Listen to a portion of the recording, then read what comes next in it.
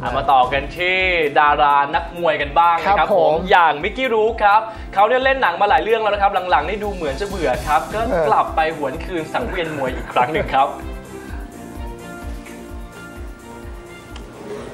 กลับคือสังเวียนมวยอย่างสง่างามเลยทีเดียวครับสำหรับนักแสดงรุ่นใหญ่เดอะมิกกี้รูครับวัย 62 ปีที่ได้รับเชิญให้มาขึ้นชกในมอสโก ประเทศรัสเซีย เมื่อวันศุกร์ที่ผ่านมาครับ และเขาเนี่ยนะครับก็สามารถเอาชนะเอลเลียต ซีมัวร์ คู่แข่งวัย 29 ปี อดีต California Golden Gloves Champion ไปได้ครับ ด้วยการเอาชนะน็อกในยกที่ 2 ไฟต์นี้นะครับเป็นการแข่งขันแบบ 5 ยกยกละ2นาทีครึ่ง แต่กลายเป็นว่าดารารุ่นลายครามอย่างมิกกี้ รูร์กชนะไปได้ในเวลาน้อยกว่า 4 นาที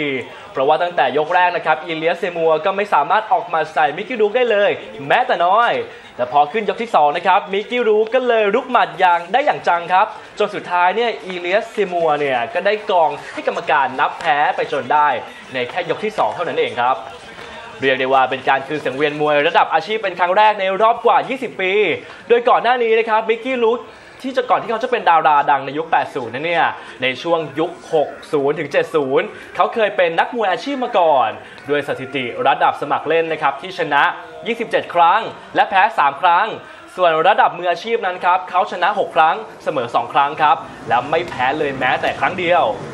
การคืนสังเวียนครั้งนี้นะครับมิกกี้รูร์กได้โค้ชมือดีอย่างเฟรดดี้โรชครับที่เคยร่วมงานกับไมค์ไทสันมาเป็นโค้ชให้ ซึ่งมิกกี้รูร์กก็ฟิตอย่างหนักครับ จนลดน้ำหนักได้ถึง 35 ปอนด์เพื่อมาแข่งขันในไฟต์นี้โดยเฉพาะนะครับ และหลังจากประสบความสำเร็จในการแข่งขันครั้งนี้เนี่ยมิกกี้รูกหวังนะครับว่าเขาจะได้ขึ้นสังเวียนมวยในรัสเซียต่อไป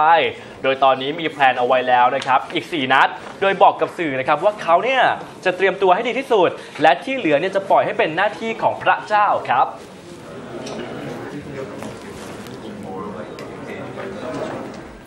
คนนี้ผมเคยดูหนังเขามิกกี้รูอายุ